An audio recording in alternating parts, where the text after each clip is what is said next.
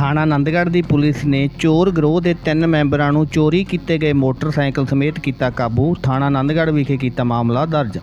ਦੱਸ ਦਈਏ ਕਿ ਬਠਿੰਡਾ ਬਾਦਲ ਰੋਡ ਤੇ ਪੈਂਦੇ ਥਾਣਾ ਆਨੰਦਗੜ੍ਹ ਦੀ ਪੁਲਿਸ ਪਾਰਟੀ ਨੇ ਇੱਕ ਚੋਰ ਗਰੋਹ ਦੇ ਤਿੰਨ ਮੈਂਬਰਾਂ ਨੂੰ ਕਾਬੂ ਕੀਤੇ ਗਏ ਚੋਰੀ ਦੇ ਮੋਟਰਸਾਈਕਲ ਸਮੇਤ ਕਾਬੂ ਕਰਨ ਵਿੱਚ ਸਫਲਤਾ ਹਾਸਲ ਕੀਤੀ ਹੈ।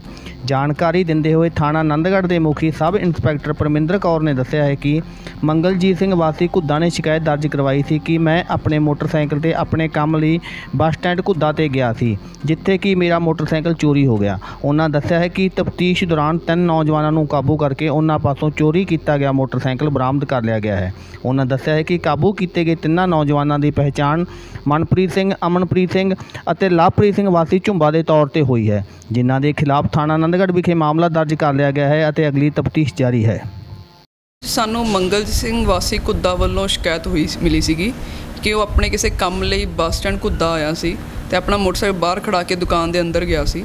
ਜਦੋਂ ਬਾਹ- ਬਾਹਰ ਆਇਆ ਤੇ ਉਹਨੇ ਦੇਖਿਆ ਕਿ ਉਹਦਾ ਮੋਟਰਸਾਈਕਲ ਉੱਥੇ ਨਹੀਂ ਮਿਲਿਆ ਉਹਨੂੰ ਤੇ ਉਹਨੇ ਆਪਣੇ ਤਾਂ- ਆਪਣੇ ਤੌਰ ਤੇ ਭਾਲ ਵੀ ਕੀਤੀ ਤੇ ਉਹਨੂੰ ਨਹੀਂ ਮਿਲਿਆ, ਜਿਸ ਤੇ ਫਿਰ ਉਹਨੇ ਸਾਡੇ ਕੋਲ ਆ ਕੇ ਆਪਣਾ ਬਿਆਨ ਦਰਜ ਕਰਵਾਇਆ ਸੀ, ਜਿਸ ਦੇ ਬਿਹਾਫ ਤੇ ਅਸੀਂ ਇੱਕ ਐਫ ਆਈ ਆਰ ਕੀਤੀ ਹੈ।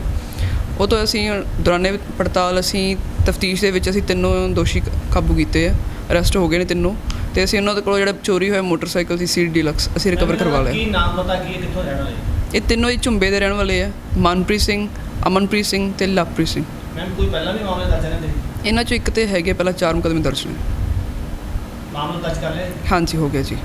ਹੁਣ ਇਹ ਤੋਂ ਬਾਅਦ ਅਸੀਂ ਇਹਨਾਂ ਨੂੰ ਅੱਜ ਮਾਨਯੋਗ ਅਦਾਲਤ 'ਚ ਪੇਸ਼ ਕਰਾਂਗੇ ਰਿਮਾਂਡ ਲੈ ਕੇ ਇਹਨਾਂ ਦੀ ਅਗਲੀ ਤਫਤੀਸ਼ ਕਰਨੀ ਹੈ।